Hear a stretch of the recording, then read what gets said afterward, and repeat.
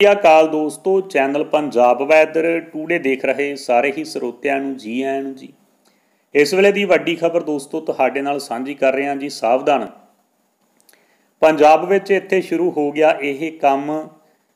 ਸੰਭਲ ਜਾਵੋ, ਕਿਤੇ ਰਗੜੇ ਨਾ ਜਾਇਓ, ਆਈ ਤਾਜ਼ਾ ਵੱਡੀ ਖਬਰ। ਵੀਡੀਓ ਅੰਤ ਤੱਕ ਦੇਖ ਲਿਓ ਦੋਸਤੋ, ਤੁਹਾਨੂੰ ਪੂਰੀ ਖਬਰ ਦਾ ਪਤਾ ਲੱਗ ਜਾਏਗਾ। ਵੀਡੀਓ ਨੂੰ ਲਾਈਕ, ਚੈਨਲ ਨੂੰ ਸਬਸਕ੍ਰਾਈਬ ਅਤੇ ਵੀਡੀਓ ਨੂੰ ਵੱਧ ਤੋਂ ਵੱਧ ਸ਼ੇਅਰ ਕਰਨਾ ਨਾ ਭੁੱਲਿਓ। ਟ੍ਰੈਫਿਕ ਪੁਲਿਸ ਵੱਲੋਂ ਜੋ ਲੋਕ ਸੜਕ ਨਿਯਮ ਦੀ ਪਾਲਣਾ ਨਹੀਂ ਕਰਦੇ, ਉਹਨਾਂ ਦੇ ਕਾਫੀ ਚਲਾਨ ਕੱਟੇ ਜਾਂਦੇ ਨੇ। ਜ਼ਿੰਦਗੀ 'ਚ ਦੋਸਤੋ, ਕਦੇ ਤੁਹਾਡਾ ਚਲਾਨ ਹੋਇਆ ਤਾਂ ਕਮੈਂਟ ਸੈਕਸ਼ਨ 'ਚ ਯੈਸ ਲਿਖੋ। ਜੇ ਹਾਲੇ ਤੱਕ ਨਹੀਂ ਹੋਇਆ ਤਾਂ ਤੁਸੀਂ ਨੋ ਵੀ ਲਿਖ ਸਕਦੇ ਹੋ।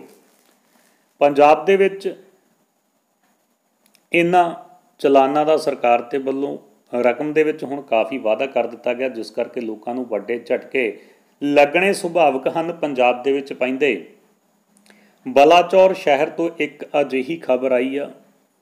ਇੱਕ ਅਜਿਹੀ ਘਟਨਾ ਦੀ ਜਾਣਕਾਰੀ ਦੋਸਤੋ ਬੇਸਿਕਲੀ ਸਾਹਮਣੇ ਆਈ ਹੈ ਜੋ ਤੁਹਾਡੇ ਨਾਲ ਸਾਂਝੀ ਕਰ ਰਹੇ ਹਾਂ ਟ੍ਰੈਫਿਕ ਇੰਚਾਰਜ ਏਐਸਆਈ ਜੋਗਿੰਦਰਪਾਲ ਨੇ ਕਿਹਾ ਹੈ ਕਿ ਹੁਣ ਜੋ ਵਾਹਨ ਚਾਲਕ ਟ੍ਰੈਫਿਕ ਨਿਯਮਾਂ ਦੀ ਉਲੰਘਣਾ ਕਰੇਗਾ, ਮੋਟਰਸਾਈਕਲ ਤੇ ਟ੍ਰਿਪਲ ਸਵਾਰੀ ਤੇ ਬਿਨਾਂ ਕਿਸੇ ਹੈਲਮਟ ਦੇ ਵਾਹਨ ਚਲਾਉਣ ਦੇ ਉਹਨਾਂ ਦੇ ਖਿਲਾਫ ਬਣਦੀ ਕਾਨੂੰਨੀ ਸਖਤ ਕਾਰਵਾਈ ਕੀਤੀ ਜਾਵੇਗੀ।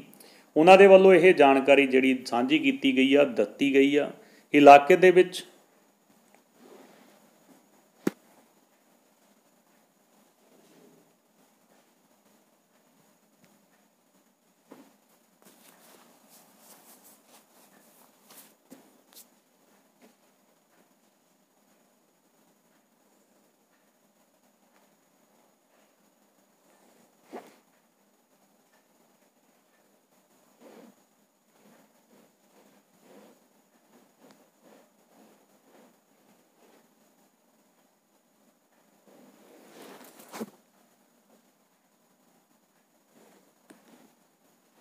ਇਲਾਕੇ ਦੇ ਵਿੱਚ